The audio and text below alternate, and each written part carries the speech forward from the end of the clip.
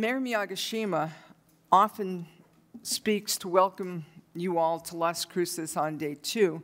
We have um, Mayor Pro Tem, uh, Councilor Gill Sorg, graduate of the North Dakota School of um, Aerospace Program, and we've had a number of conversations about the value of that program and the Space Grant program, and also for our community. So Councilor Sorg is going to welcome you today. Uh, you're on. Okay. Come on up here. Thank you, Pat. Thank you. Um, I just have a few remarks. I thank you, uh, Pat, and thank you, Mr. Hale, too, for all that you're doing here.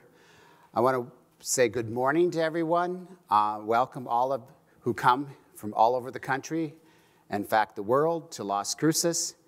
And, and I'm sure you've heard this before, welcome to the 2019 International Symposium for Personal and Commercial Spaceflight. Mayor Ken Miyagishima regrets that he could not be here today. He does like to do this. Uh, many thanks to uh, Dr. Pat Hynes, too, um, for doing such an outstanding work, putting together this symposium and all the ones in the past. I know because I get her, all her emails.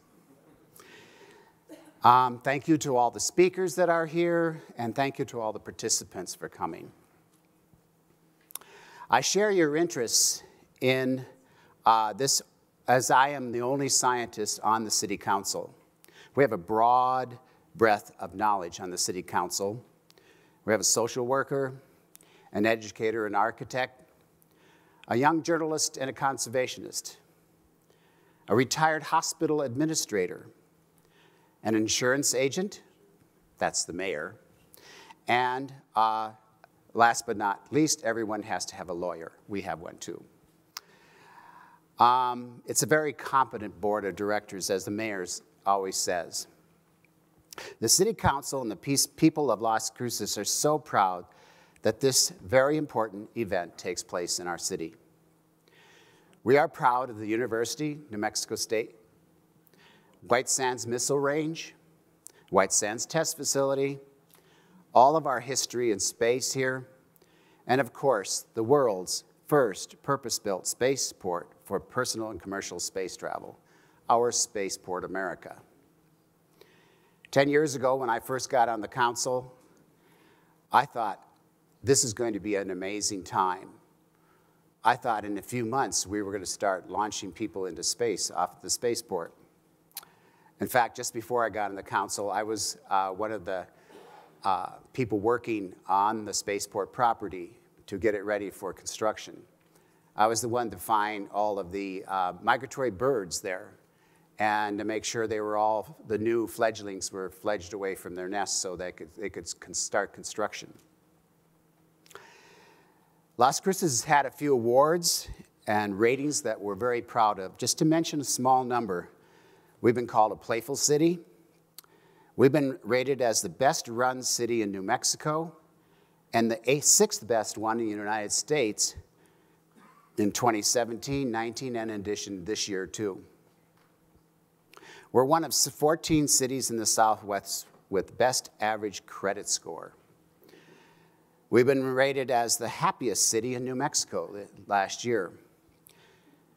Uh, we have received Season of Giving Award, safest driving city in New Mexico, and the safest city in New Mexico. We have been uh, given the award of most educated cities. Also, uh, as best places or top sunny places to retire, we've been rated by the uh, Best Place to Retire by AARP, TopRetirements.com, Where to Retire Magazine, U.S. News and World Report, Money Magazine, Forbes, and a few others. We're among the top 25 hardest working towns in America. By the Global Trade magazine, Las Cruces is named as the best city for global trade in 2015. And also, we've been one of the country's top 10 spring break destinations. Now, before you think of college students coming to town. It's not that. It's the top s- spring break destinations for families. Uh, and of course, you all probably know that NMSU is a tier one institution, and uh, we're one of 20 best towns of the future, including one of the top boom towns in America just this year.